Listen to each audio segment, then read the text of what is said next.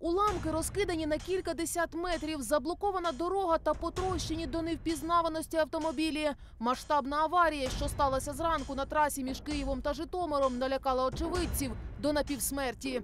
Ну, Тут таке страшне, я не, не можу передати один одному. А часто на цьому відрізку аварії стаються?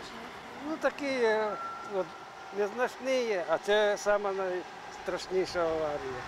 У нерівному двобої на дорозі зійшлися легковик та багатотонна під зав'язку навантажена фура. Багатотонна вантажівка пронеслася ось тут смертоносним снарядом. Вона розірвала відбійник, знесла електроопору, вилетіла на зустрічну смугу і буквально зім'яла легковик, що рухався у напрямку Житомира. Від страшного удару вазівка перетворилася на купу металобрухту. У 28-річного водія легковика та його на три роки старшого пасажира не було жодного шансу. У металевій м'ясорубці обоє загинули миттєво. Загинуло двоє хлопців, один житель е, Київщини 90-го року народження та один 87-го житель Чернігівщини.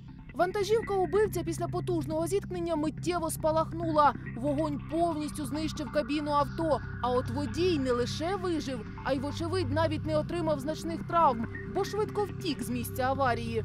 Це, як ми знаємо, це громадянин Туреччини, бо машина є з турецької реєстрації та зберіглась частина паперів, який з місця події одразу після ДТП зник. Тому зараз ми направили інформацію як до пограничників, так і на всі поліцейські наряди щодо розшуку даної особи. Водієві трохи за 50 років. Найімовірніше, кажуть копи, він заснув за кермом. Так поспішав довести товар, що проігнорував відпочинок. На пошуки втікача іноземця зараз кинули усі сили, але де він може переховуватися, невідомо.